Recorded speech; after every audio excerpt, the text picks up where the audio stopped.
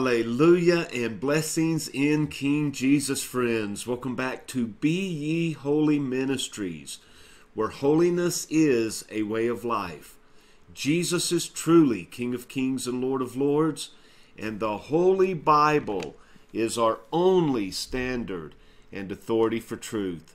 And together, God's people say, Hallelujah. Well, friends, it is such a delight to be back with you, and I trust that you are feeling blessed in Jesus and you are growing in His Spirit each and every day. And that's precisely what we're going to try to address today is who is the Holy Spirit? Now you'll notice I did not say what is the Holy Spirit. Oftentimes he is referred to as an it or a what. But, friends, brothers and sisters, He is not an it. He is God Almighty, and He is the third person of the Trinity. But He is so often misunderstood and even more misrepresented.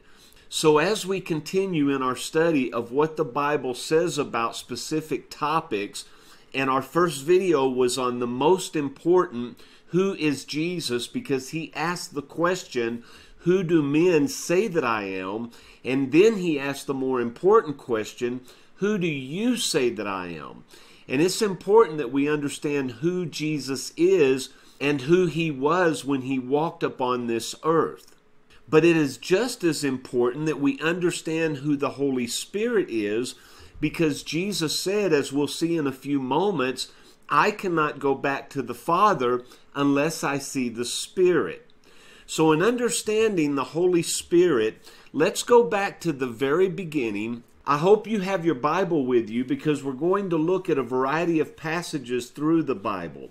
And let me say right up front that we could do a series of a, a multitude of videos on who the Holy Spirit is, what he represents, what he does for us, what his purpose is, the gifts of the Spirit, the fruit of the Spirit, but without going into great detail in a lengthy series of videos, I want to keep this as simple as possible so that you understand who the Holy Spirit is and what his purpose is for us as followers of the Lord Jesus. So, as I stated, let us go back to the very beginning Genesis chapter 1 and verse 1. And let's read together. It says, In the beginning, God created the heaven and the earth. Now, the first thing to note here is that the word God in the Hebrew is the word Elohim. And if you look up that word in a concordance, you're going to see that in the specific passage here, that is used in a plural sense. So, in the beginning, God, Father, Son, and Spirit created the heaven and the earth. Now, if we were to turn over to John chapter 1, verse 1, it says, In the beginning, and by in the beginning, it means all the way back to Genesis chapter 1, verse 1. In the beginning was the Word. Now, if you'll go down to verse 14, it says, The Word was made flesh. So, Jesus is the Word made flesh. So back to verse 1 in the beginning was Jesus, and Jesus was with God, and Jesus was God. Now we're replacing the word word here because we're told in verse 14 the word was made flesh or the word became the man we know as Jesus who was from Nazareth and walked this earth some 2000 years ago in the beginning was the Word, was Jesus. And the Word, Jesus, was with God.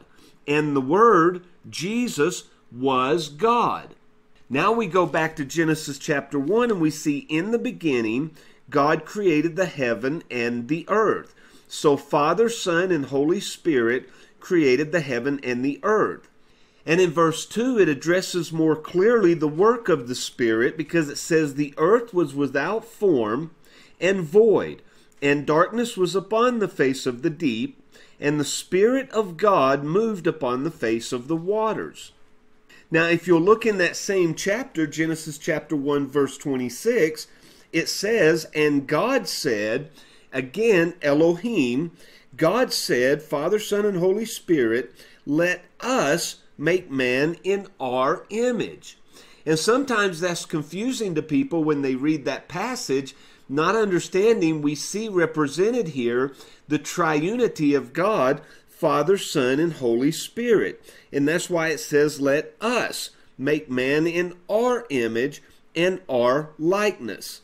Now, we also see this in the New Testament if we turn to Matthew chapter 3 and beginning at verse 16. It says, Jesus standing upon the earth, physical flesh, when he was being baptized, went up straightway out of the water. And lo, the heavens were opened unto him, and he saw the Spirit of God descending like a dove. So we see Jesus, the second member of the Trinity. We see the Spirit of God descending upon Jesus, the third person of the Trinity. And then in verse 17 it says, Lo, a voice from heaven saying, This is my beloved Son. The Father, the first person of the Trinity, we see here. And so in these two passages, we see the three members of the Trinity all being one God represented in different forms. We see Jesus standing upon earth being baptized, the Spirit of God descending like a dove, and the Father speaking from heaven saying, This is my beloved Son, in whom I am well pleased. Now, understanding from these two passages and seeing very clearly that God is represented in three persons Father, Son, and Holy Spirit, now we need to turn to Ezekiel chapter 36, verse 25. And this is going to tell us what the role of the Holy Spirit is. Now, the Father is speaking here, and he says, I will sprinkle clean water upon you, and you will be clean. From all your filthiness, from all your idols, will I cleanse you. A new heart I will give you, and a new spirit I will put within you. I will take away the stony heart out of your flesh, and I will give you a heart of flesh and I will put my spirit within you and will cause you to walk in my statutes, and you will keep my judgments and do them. So the Holy Spirit of God here is promised to be placed within us so that we no longer walk according to our own will in our own way, but now we walk according to the statutes of God the desire of God, the will of God, and we will keep His judgments and we will do them. Not because we have to, but because we will want to. Our desires have changed.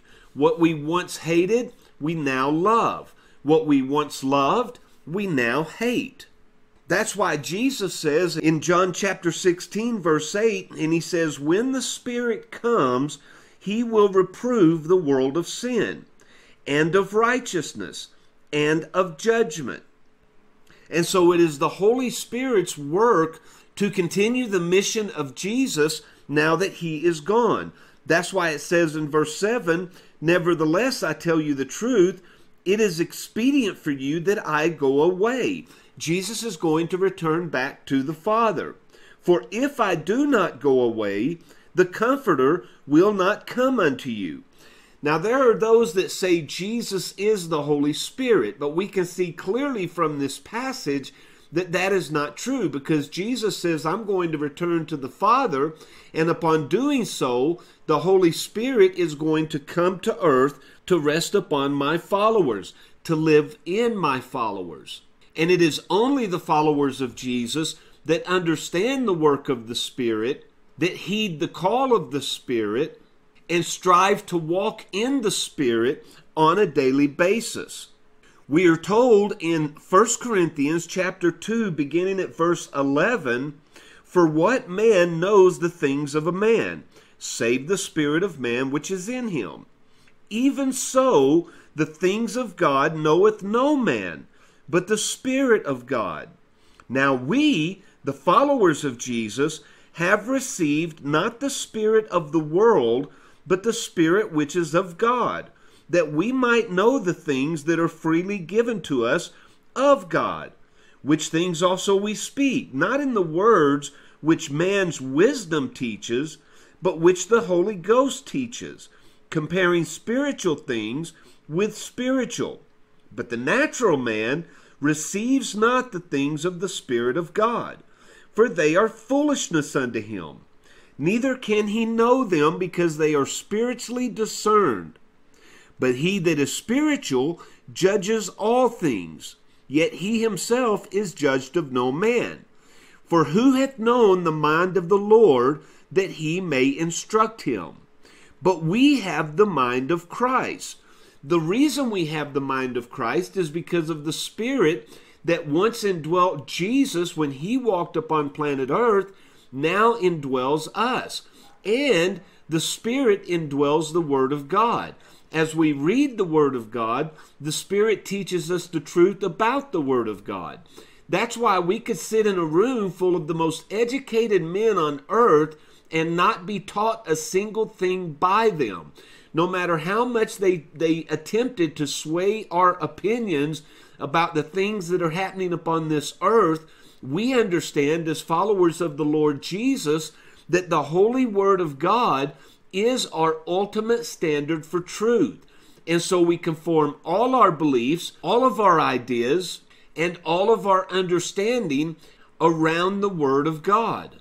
And if we're not careful to do this, it's easy for us to be swayed by the majority opinion and to follow our own hearts because if we don't stand steadfastly upon the Word of God, upon the truth of God, then every man is left to decide what is true and not true for himself. And this would differ among each of us. But when we stand to the truth of God and what God's Word teaches, we're all left to the same conclusion.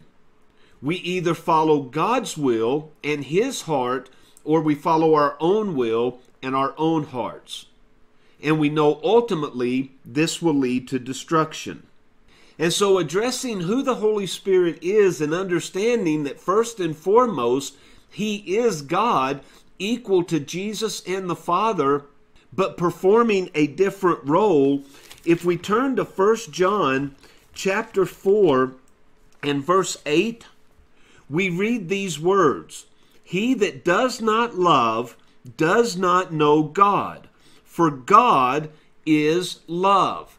So, God, in, in his purest essence, is love. Now, if you have a dictionary handy and you want to look this up, the dictionary tells us that the definition of spirit is the non physical part of a person, which is the seat of emotions and character. It is the prevailing quality or mood. So the prevailing quality or mood of God is love. And as we just read in this definition, the Spirit is defined as the emotion or character. So God is love. We're also told that God is Spirit. And so the Spirit of God is love. Now, when we think about Jesus when he walked upon this earth and the testimony and record that were given specifically in the Gospels, we see the essence of love in its purest form in the person of Jesus. And that's why Paul says in 1 Corinthians chapter 13, beginning at verse 1, he says, Though I speak with the tongues of men and of angels. Now, these are people that are centered. Their attention is is based upon the gifts of the Holy Spirit. And Paul says, If I have the tongues of men and angels, but I do not have love, or the King James Version says charity, but it's the word love, then I am become as a sounding brass or a tinkling cymbal. In other words, I'm of no use. And though I have the gift of prophecy, and I understand all mysteries and all knowledge, and though I have all faith so that I could remove mountains, but I do not have charity or love, I am nothing. And though I bestow all my goods to feed the poor, and though I give my body to be burned, but I do not have love, it profits me nothing. And then in verse 4 through 7, Paul is going to define what love is. So he begins by saying, Love suffers long. Love is kind. Love does not envy. Love does not vaunt itself. Love is not puffed up. Love does not behave itself unseemly. Love seeks not its own. It is not easily provoked. Love thinks no evil. No evil of anyone at any time. Friends, this is a high standard to live by, but this is what we as followers of the Lord Jesus have been called to obey. Look at verse 6. Love does not rejoice in iniquity, but love rejoices in the truth.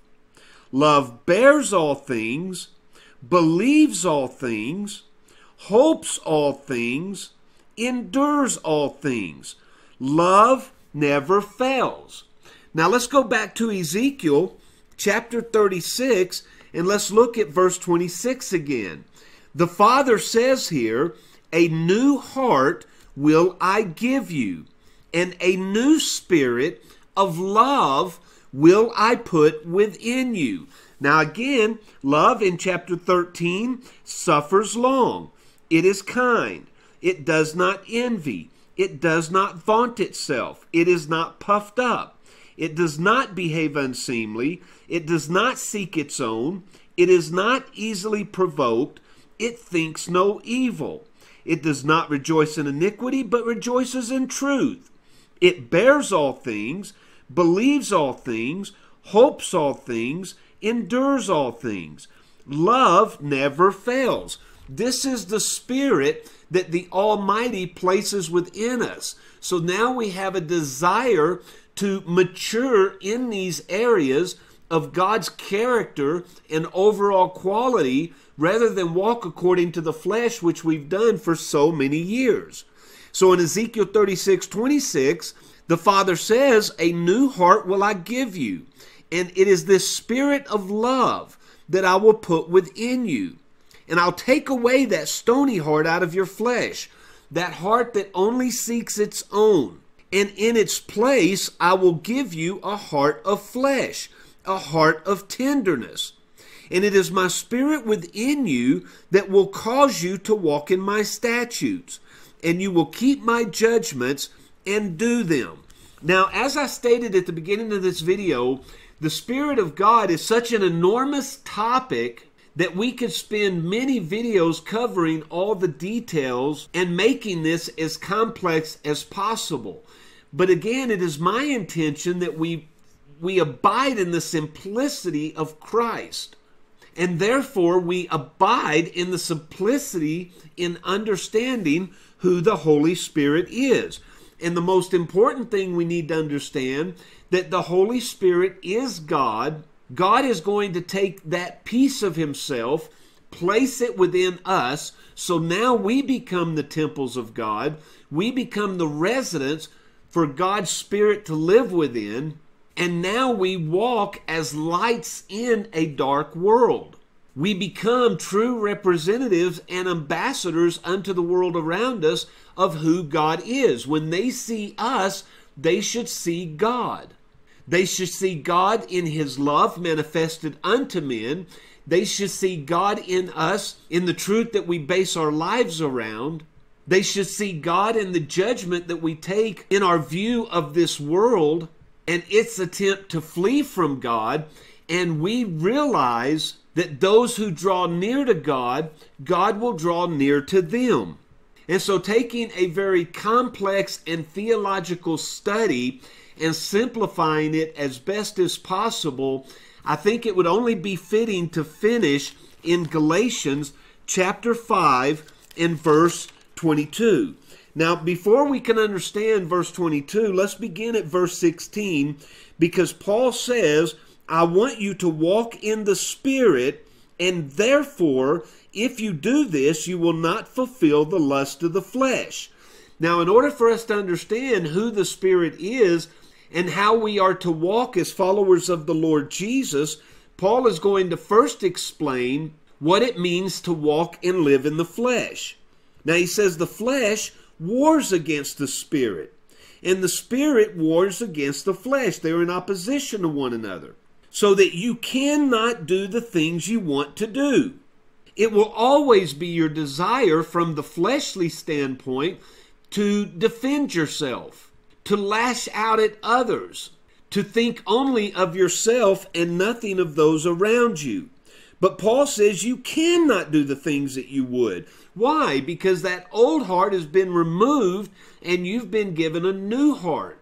And so if you act according to the flesh, you're acting out the impossible for a follower of the Lord Jesus because a true follower of the Lord Jesus has a desire to walk according to the Spirit. And that's what he says in verse 18. If you be led of the Spirit, you're not under the law or you're not ruled by the old self. Now, the works of the flesh are manifest, they're evident, and they are these adultery, fornication, uncleanness, lasciviousness. These are all sexual acts that, that Paul is addressing. Then he says idolatry, witchcraft, hatred, variance, emulations, which is envy, wrath, strife, seditions, which is division, heresies, envyings, murders, drunkenness, revelings, and things like these, of the which I tell you before, as I've told you in time past. Those who do these things, who live their lives according to these ways, these characteristics, that this becomes the prevailing quality of who they are, they will never inherit the kingdom of God. But you, as followers of the Lord Jesus, walk in the Spirit, for the Spirit is love. Remember, 1 John chapter 4, verse 8 said, God is love. Well, God is the Spirit. The Spirit is God. Now, the Spirit is not the Father, and the Spirit is not the Son, nor the Son the Spirit, the Father the Son. Each hold a different office in the triune aspect of who God is. But the fruit of the Spirit is first and foremost love. Well, what is love? We talked about that in 1 Corinthians chapter 13. Love never fails. Love does not vaunt itself. Love does not envy. Love speaks no evil. And on and on as we read. But the Spirit of God is love. And so if the Spirit of God resides within us, these are the qualities that we're going to hold dear ourselves and that we're going to exhibit to a world around us that is living in darkness. Not only is the Spirit of God love, but the Spirit of God is joy, true inner joy, not based upon what this life offers us, but based upon the eternal hope of what God has promised us. So the Spirit of God is love. The Spirit of God that abides within you is joy. The Spirit of God is peace. The Spirit of God is long suffering and gentleness, goodness and faith. The Spirit of God is meekness and temperance. And against such there is no law. Or you will not act out according to the flesh. You will not live according to the flesh. You no longer reside under the authority of the flesh. The flesh has been killed. The flesh has been buried. It's been crucified. And we now live according to the principles of God, allowing the Spirit of God who lives within us to draw us into the deeper characteristic of who God is and allow ourselves to become more like God and less like ourselves. And that's why he finishes in verse 24 they that are Christ have crucified the flesh with the affections and lusts. But if we live in the Spirit, let us walk in the Spirit. Let everything we say, everything we do, everything we think, especially unto the world that is watching us, let us walk in the Spirit and exhibit these qualities in our lives on a continual basis. And so I want to end today by simply saying, as I've stated before, in trying to present to you the simplest way to understand who the Holy Spirit is, it's important that we focus upon the qualities of God and not the gifts of God. And so often, especially as young believers, we're drawn to chase after the gifts of God. But it is most critical that we focus upon the Spirit of God, upon the fruit of the Spirit in our lives, and how we can become better followers of Jesus. So as 1 John chapter 2 verse 6 tells us, he that says he abides in Jesus ought himself also walk even as Jesus walked. And in order to do this, we must allow ourselves to be conformed into the image of God by allowing His Spirit to have full control in our lives so that we walk not according to the flesh, but we walk according to the Spirit. Well, once again, friends, brothers and sisters, I am so grateful that you have decided to take some time to participate in this study with us. And I pray that you'll continue to grow in the grace and knowledge of the Lord Jesus Christ each and every day, and that you'll walk not according to the flesh, but you'll truly understand who the Holy Spirit is in you and what His desire is for you. Now, as He wills, and until next time, friends, I truly love you. I'll see you on the next video.